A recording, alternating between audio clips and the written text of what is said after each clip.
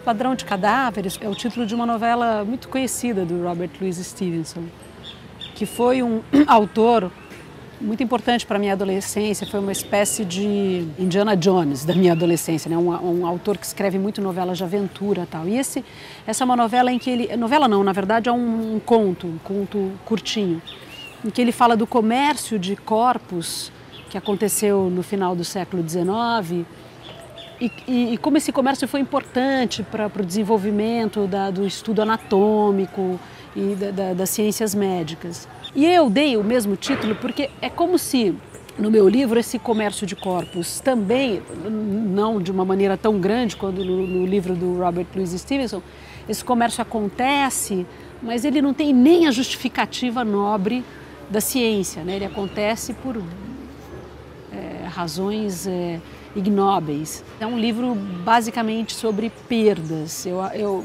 eu, o ano passado e o retrasado foram anos muito difíceis na minha vida, na, na minha esfera privada.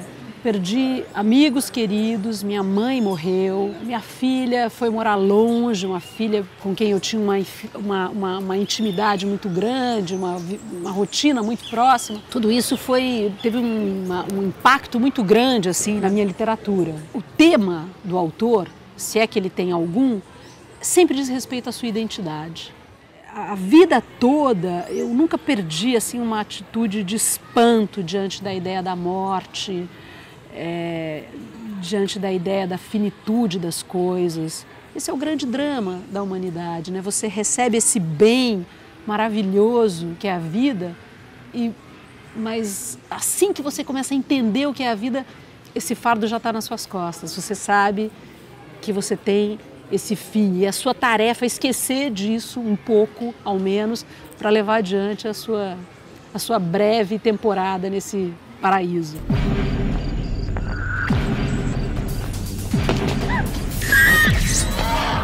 Cruzou o mundo para desvendar um grande mistério e descobriu um país onde nada é elementar. Sherlock Holmes, as suas ordens.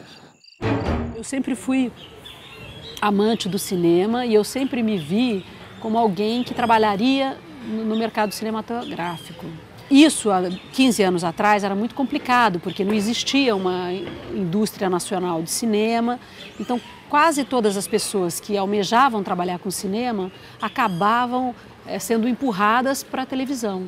Essa frustração que foi não conseguir realizar meus projetos de cinema, eu, e, e também é, sem a possibilidade de desenvolver uma coisa mais autoral dentro da televisão, eu comecei a escrever um projeto que era o Aquatofana, mas quando eu sentei sozinha para escrever o Aquatofana, eu me, eu me vi pela primeira vez livre, sabe? De não, preciso de ninguém, esse é um projeto que eu posso realizar sozinha, é, não dependo de budget, não dependo de produtor, de ator.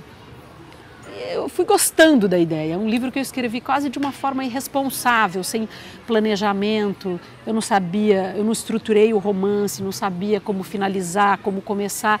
Mas foi, foi assim num, num surto. E quando eu acabei o livro, eu já já tinha esse, isso que você disse, sabe? Esse, esse vislumbre, olha, eu quero trabalhar com literatura. Antes da gente nascer, alguém, talvez Deus, define direitinho como vai foder tua vida. Essa era a minha teoria.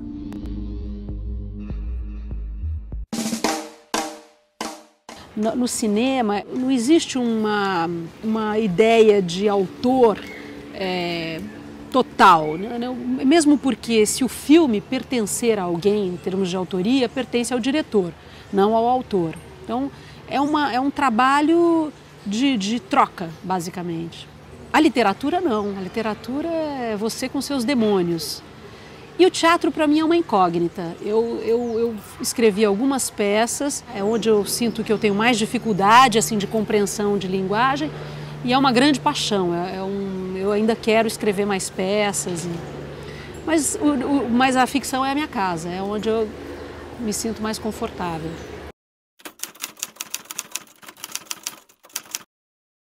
Algumas línguas eu acompanho. Eu acompanho bem o inglês, acompanho bem o francês. O resto, você tem que confiar, confiar na editora. Por isso que é importante você escolher uma boa casa editorial. É, é interessante você ver também como o livro vai vai ganhar uma pele nova. Eu gosto.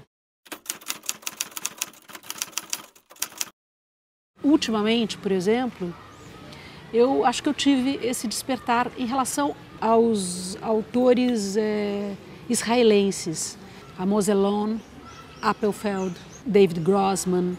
Eu fui, eu cheguei para Israel, viajei, fiquei um mês viajando por todo o país é uma escrita é, dura e uma, uma escrita sofrida, mas ao mesmo tempo sem nada de compaixão. Então isso, isso me dá um ar fresco. A crítica que vem de fora, ela é muito destrutiva, né? E pode ser muito destrutiva. Ufa, viu?